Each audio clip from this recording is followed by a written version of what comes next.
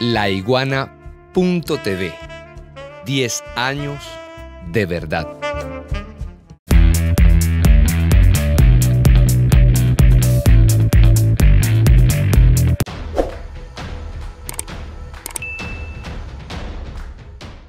recibía beneficios Zaida Suárez, quien también está detenida y ha aportado también información, quien aparece en toda esta trama como la pareja sentimental de Tito Viloria. Todo este negociado tinglado de corrupción le permitió incrementar su patrimonio de forma desproporcionada. De hecho, yo le pregunto a, Tito Viloria, explícame si tú has sido toda la vida un dirigente sindical,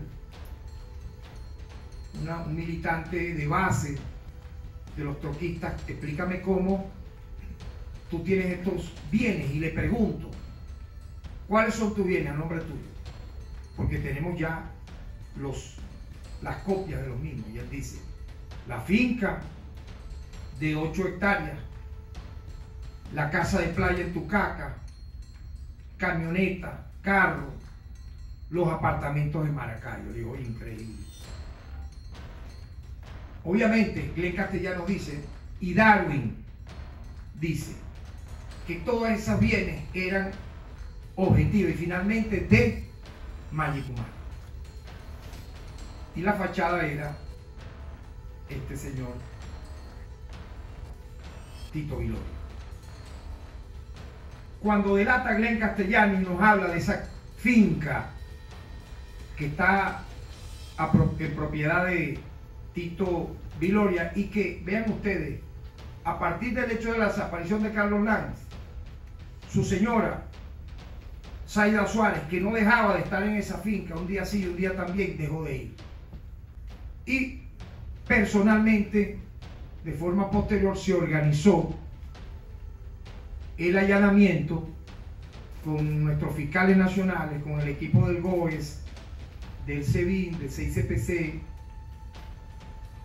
con, el apoyo de la Fiscalía Superior de Cojedes, el allanamiento de e inspección de la finca La Fortaleza, ubicada en Cojedes, en un sitio inhóspito, por allí por el baúl.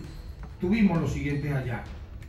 Identificación de zonas por parte del equipo canino, donde nuestros expertos de la unidad criminalística, al pasar el luminol detectaron rastros de sangre en una fosa ubicada en el potero izquierdo colindante con una finca vecina a la finca La Fortaleza. Ubicación de una prenda de vestir. Casualmente vean esto.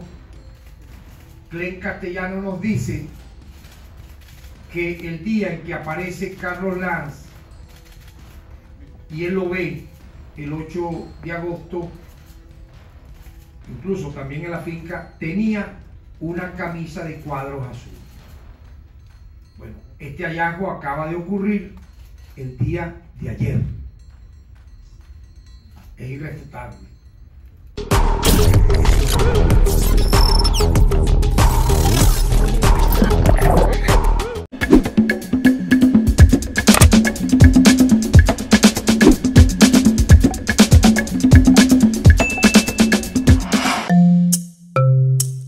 laiguana.tv.